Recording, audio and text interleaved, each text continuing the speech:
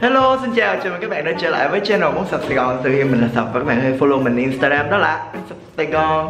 Và hôm nay thì mình sẽ quay trở lại với một video nấu ăn. Mình sẽ nấu ăn ở nhà. À, Kể với bạn nghe là hồi nãy mình với lại Kai nè. Hello Kai. Hello Mình với Kai trên đường đi về nhà mình á Thì đi ngang qua một cái khu chợ Và mình thấy họ có bán bạch tuộc. Cho nên là tự nhiên thèm một cái món cực kỳ là ngon luôn. Mình đã từng ăn đó là bạch tuộc sốt cay ở hải sản Nam Đảnh ở Đà Nẵng. Nếu bạn nào mà đi Đà Nẵng thì nhớ ghé Nam Đảnh để ăn cái món này. Và hôm nay thì mình sẽ cùng với lại Cai, Hồi nãy mình ghé, mình đi nghe, mình thấy cái mình thèm, mình mua. Bây giờ mình sẽ quay cho các bạn xem là tụi mình sẽ chế biến lại cái món bạch tuộc sốt cay đó ở Đà Nẵng. Có thể là không giống ở Đà Nẵng lắm, Nhưng mà tại vì hai đứa mình coi ở trên trên Foodie đồ á thì à, uh, nó là như vậy nè mọi người để cho mở cho mọi người xem tưởng tượng xem đây. Đó cái món nó sẽ giống như vậy nó phải có sốt có hành này nọ. Cho nên là tụi mình mua đồ về để thử làm coi coi nó có ra được cái vị đó hay không và cũng sẽ coi chế biến như thế nào. Thì mình quay lại cho các bạn xem cái quá trình tụi mình làm ha.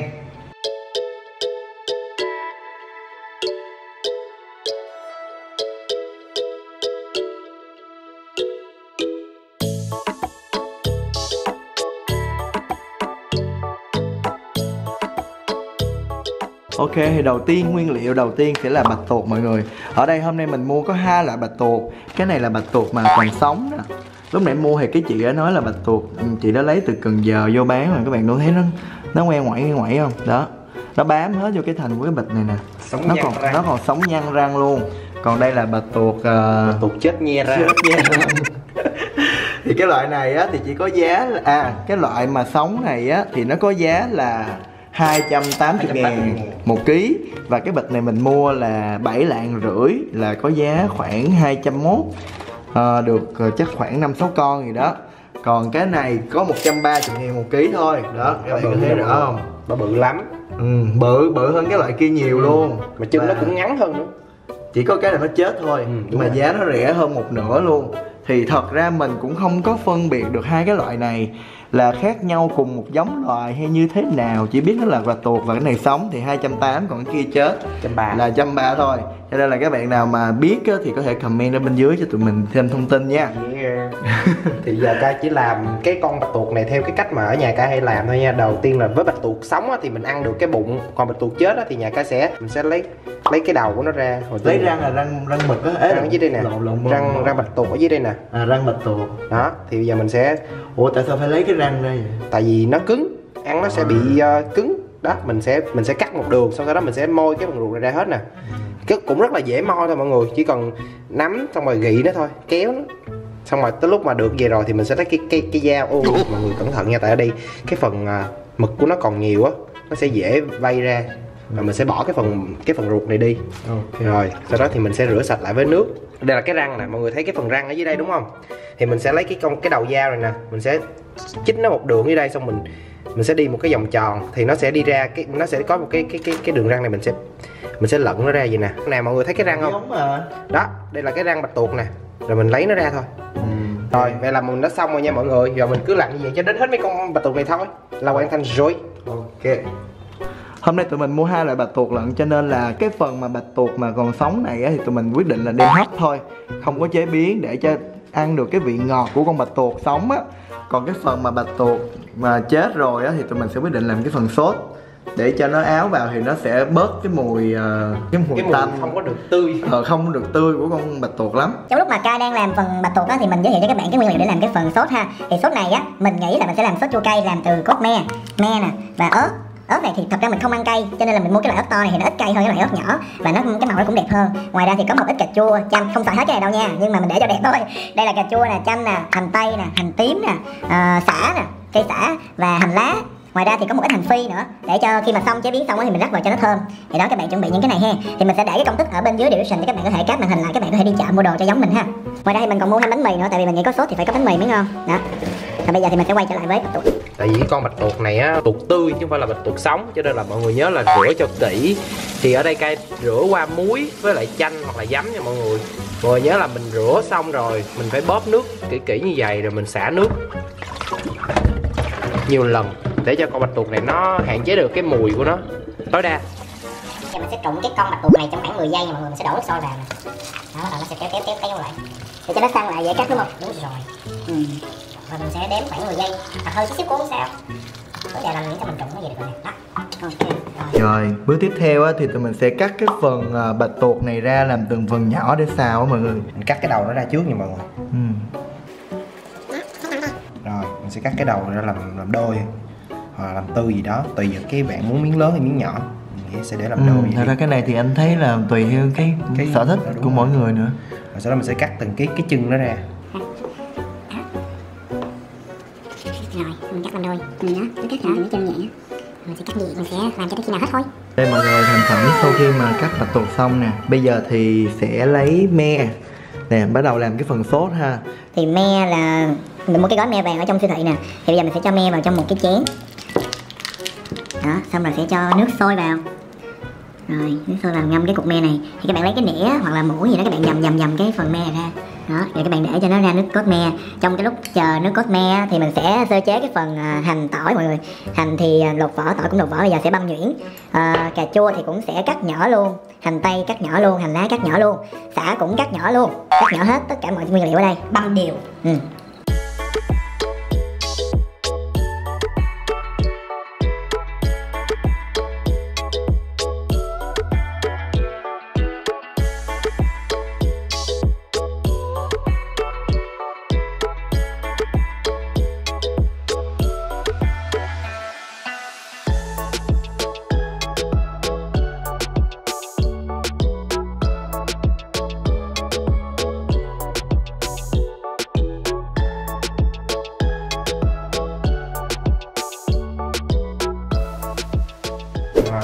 mình sẽ bắt đầu làm thôi bật bếp nè. Cho dầu vào nha. Ít thôi, ít thôi. Sẽ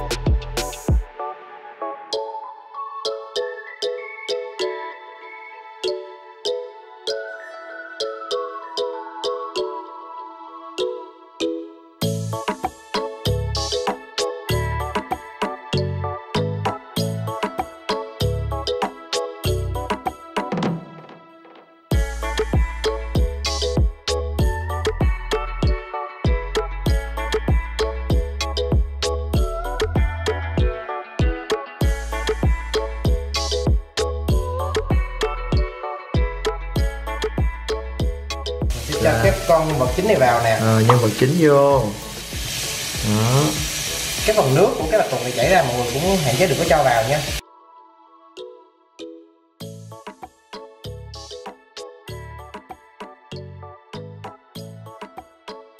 Thì mình sẽ cho hết cái phần cốt me cái phần nước cốt me này nghĩa là ta sẽ cho khoảng ờ, ba bát hả ta.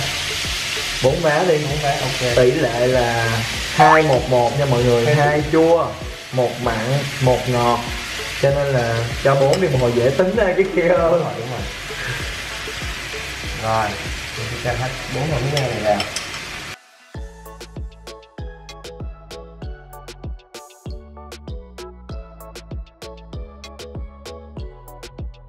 rồi cho nước mắm cho gì cho nước mắm vào cũng là một mắm luôn á hai mắm chứ. Hai mắm hai phần nước mắm. Mình sẽ các bạn nhớ tỷ lệ nha là hai một một tỷ lệ vàng của làm sốt me á là cứ hai nước me thì sẽ một nước mắm và một đường, hai chua, một mặn, một ngọt. Cho nên hồi nãy bốn muỗng me thì bây giờ sẽ là hai muỗng nước mắm và hai muỗng đường. Đầu kia chị ok. Rồi. Thôi. Đó, đầu bếp miền tây cho nên chế đường hơi nhiều mọi người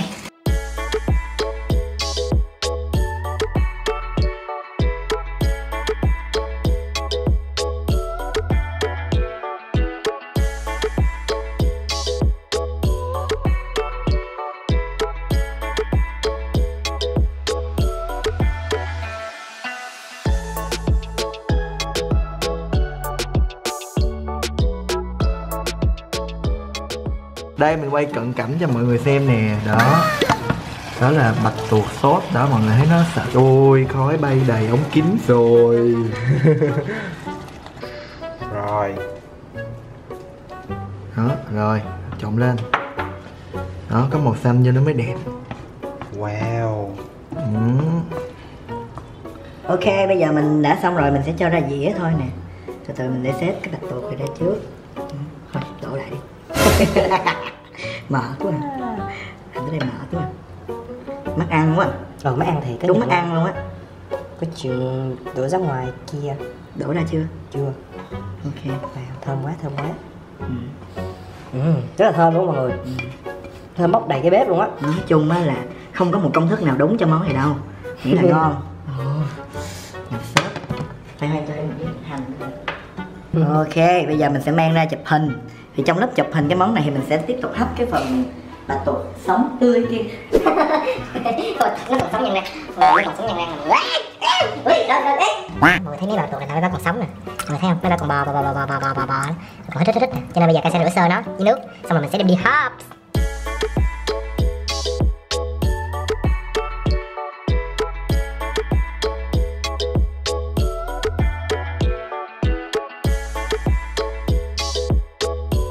Rồi bây giờ mình sẽ cho những em chân dài Những con nàng chân dài nóng bỏng này vào. Vào sôi nồi. Mặc dù món này sẽ ngon hơn. Không, món kia ngon hơn. Món kia ngon hơn, món này sẽ ngọt hơn. Món này sẽ ngọt hơn, đó. Mấy em này nãy giờ quỷ cai nó chơi đùa sao nó nằm im hết luôn rồi. Thì đó, thì nó phải như vậy. Đó, mình sẽ cho vào đây. Đó. Cho vào nồi hấp. Thật ra các bạn cũng không cần cái lưới hấp gì đâu. Các bạn có thể cho mực nước ít Xong rồi cho nằm phía dưới như luộc vậy đó. Thì cũng sẽ ngon thôi. Nhưng mà nhà nào bạn nào có đồ hấp thì hấp luôn rồi mình sẽ cho những cái phần hành, phần xả, phần mấy hành, phần gừng, phần xả vào trong. Đập nước sôi và đóng nắp lại. Cái này thật ra không cần phải hấp lâu đâu chỉ cần làm sao cho chín lại là được chín xăng lại là được. Đó, mình sẽ để vào và mình sẽ để nắp lại. Rồi. Hẹn gặp lại các bạn. Trong ít phút nữa nhé thật ra là vài giây thôi. Một hai ba. Đây cuối cùng thì tụi mình cũng đã xong được một bàn đầy món ăn về bạch tuộc. Đây là bạch tuộc sốt chua cay make by ông sập và ông cay không có một công thức nào trên mạng nó giống như vậy được đâu. Vừa có me vừa có cà chua. Nhưng mà mình nói thiệt rất ngon nha mọi người. Mình đã nếm thử rồi rất ngon. Đây là uh, cái gì á? Bạch tuộc tươi. Chỉ có hấp gừng với xả thôi. Thì hôm nay mình cũng sẽ ăn thử coi là cái bạch tuộc này với lại bạch tuộc này nó khác nhau như thế nào tại vì cái này cơ bản là nó lúc mà bỏ vô trong nồi nó đã sống quậy quậy quậy quậy quậy á cho nên là mình làm rất là đơn giản luôn và chấm với lại muối ớt xanh. Nếu bạn nào mà có thời gian thì có thể làm thêm những cái loại nước mắm sốt thái này nọ ớt rồi um, rau gì? Rau ngò hả? Nhầm nhầm. Ờ rau- rau mùi rau ngò gì đó. Ờ có thể làm những cái loại sốt của thái á, thì ăn với cái món này sẽ rất ngon. Còn cái này á, thì sẽ ăn cùng với lại bánh mì bánh mì hồi nãy mình nướng nó- nó hơi khác khác ở dưới này bánh mì bóng đêm nhưng mà ở trên thì vẫn còn nhìn ngon nha mọi người. Đó nguyên bàn ăn của tụi mình. Bây giờ thì ăn thử nha. Rồi ok. Bây giờ chúng ta giới thiệu trước chúng ta có món gì nè? Chúng ta có ai nè? Chúng ta có ở sài gòn à, Có cà quay trong vai là đi tài trợ tiền à, bữa ăn hôm nay. Có ca quay phú trong vai uh, Tiền nữ. Tiền nữ vụ ta cái nhé. Làm từ nãy giờ và có một nhân vật không mời mà tới. Thôi. Là anh quay phim nha mọi người mọi người coi từ đầu bây giờ là đâu có ai coi quay cho tụi mình đâu. Nhưng tới lúc ăn mình chỉ xuất hiện. Đó anh quay phim xuất hiện. Từ lúc mà set máy thì hết chân máy rồi á Thì nó có anh review Từ lúc mà phải cầm máy trên tay thì không có ai hết. Đúng chính xác nói nhưng mà không mời mà tới ok thì bây giờ chúng ta sẽ có hai món. Thì đây á là Tụi xìu ke. Tổ cái gì Tụi ke. Xìu ke. cái gì seo ke tụi mày mày tao bắt mày. Sao tao bậy bạ mày tao bắt là tuột chua cay. Và một tuột hấp gừng xả ớt. Ok. Rồi ok, ăn thôi, mời mọi người nha. Cho tôi đổ lại Cho đúng cái đũa sạch mà mọi người Đúng rồi, sạch kìa, có cái Ăn là trước ta, ăn trước cái này đi Anh cũng là ăn này trước đi, cái này đang nóng nè Cái món này thèm từ bữa đến giờ không đi Đà Nẵng được. Muốn cái nước rồi vô nữa cho bánh mì nữa. Phải có hành. Sao anh, anh, ăn là phải có nếp như thế nào? Sao anh? không làm anh, anh, thấy có ngon không? Chứ tụi em làm mà chết mẹ. Nhận xét gì không? Nhưng mà nhan Không làm được ăn. Kiểu công chung á là làm phải nó nó phải hơi đậm đà một tí. Thì ăn chung với bánh mì nó sẽ ngon còn làm nhạt quá thì ăn không ngon đâu bạch tuộc nó có tươi thấy không tươi đâu. Ừ, em thấy cái vị cái nó cái mùi của nó vẫn còn một chút xíu cái vị không tươi đó nhưng mà đã được. Che đi bởi cái lớp cái lớp tiêu. Gia vị nói chung tốt rồi. Nói chung là mọi người cũng nên là mình nên mua mấy cái bạch tuộc mà nó còn sống. Ừ. thì nói chung là có hai option cho mọi người lựa chọn. Mọi người có thể chọn là 280 hay là 130 thì tùy này là trăm hai trăm tám này cái này trăm ba ngàn ký nè. Khác nhau rõ ràng quá Tè Đó mọi người, cái này là sốt Hàn Quốc. Mình bắt đầu cho cái con chuột này vào, mình sẽ chấm nó, mình ăn thử. Ờ, món này ngon là nhờ mấy cái gia vị hành Chấm nó mì ngon. Ờ, chấm bánh mì ngon. Ừ, Sao? bơ nó rất là ngọt luôn á. Ngọt. Ngọt rất là ngọt luôn. Đây còn cái đậu nó bị tanh luôn nha không đâu luôn cái con bạch tuộc này á là còn sống cho nên là mình không làm gì hết luôn mọi người không mở cái đầu ra giống con này luôn. Không làm gì hết luôn Nó không hề tanh luôn. Không một chút tanh nào hết. Không nhưng mà con này tính ra anh thấy vẫn tươi nha tức là nó không bị bở. Đúng rồi, nó không còn bị có bở. nhiều con nó bở rẹt luôn á còn cái con này là nó vẫn còn giòn. Dạ, dai dai. Ừ. còn giòn còn dai. Nói chung là ok. Nhưng mà ăn cũng được. Nhưng mà nếu mà cái bị cay á tại vì Ừ. tại vì không có được cay cho nên là mình cho nó ớt cho có có màu thôi mọi người. Đúng rồi, nếu mà ớt mà cay nên một xíu nữa. Nó hấp dẫn hơn ừ. cái um, cái cái cái nước sốt này nè mọi người nên làm cho nó sệt như thế này mà cũng đừng nên sệt quá. Sệt quá thì mình sẽ không có chấm bánh mì được. Đúng rồi nó xúc lên được giống như vậy. Ăn sạch thì ăn nó cũng hấp dẫn hơn.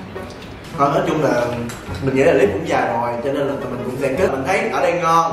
Các bạn cũng có thể chế biến tương tự như vậy. Nói chung là không có công thức nào đúng hết chỉ có công thức ngon hay không ngon thôi.